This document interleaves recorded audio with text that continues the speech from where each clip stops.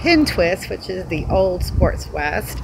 Here is the entrance. They've changed this quite a bit. Used to have like a little double entry.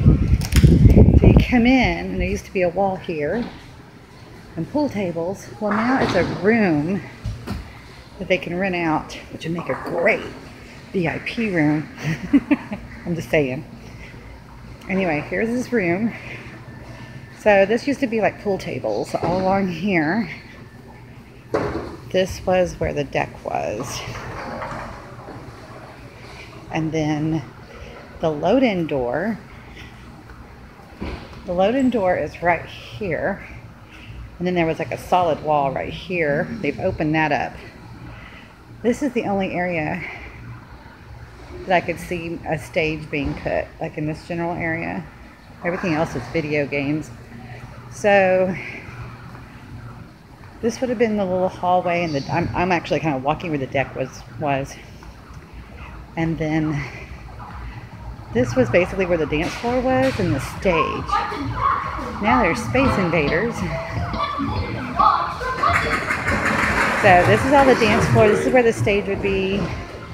Like that corner, like this whole corner right here was like the stage they opened it up where the uh, pro shop was.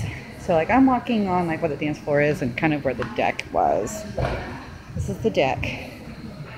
Here's the bar. This leads up to, there's different ways to get up to the uh, pool, I mean the bowling area. There was, there was a door, like this one little door here to go into the bowling area. There's a snack bar. They have this all opened up now. And the bar is shaped differently now. There's the door that I came in. Dartboards. Now the pool tables are concentrated right here. There are six pool tables. This is built out. There's a wall built out here and then the uh, original bathrooms that they're these still are on the same location back here. But anyway uh, ceiling is really cool now. They took all the panels so then it's a lot taller ceiling now. But anyway very cool. Would love to do a show here. Anyway pin twist aka sports west